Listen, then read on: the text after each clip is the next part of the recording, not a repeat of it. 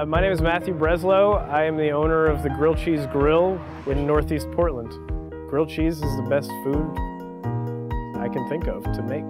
To me, it's the only universal comfort food. It evokes something different that, that no other food quite does. It made total sense to incorporate that already built-in nostalgia for the sandwich into a restaurant. I found the bus on Craigslist. It was, it's a 1972 school bus. And the fact that the school bus aspect of the nostalgia fit in with the grilled cheese nostalgia, it all kind of came together and made total sense. And when it came time to open up a second location, I said, well, we got to do it twice as good. I said, all right, let's get a double-decker bus and do the same thing and just make it twice as cool. So that's kind of how we evolved.